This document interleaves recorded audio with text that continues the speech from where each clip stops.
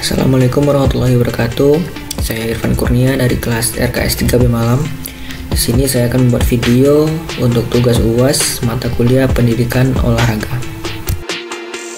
E, baik, pertama dimulai dari pemanasan untuk menghindari terjadinya cedera saat e, bermain bulu tangkis.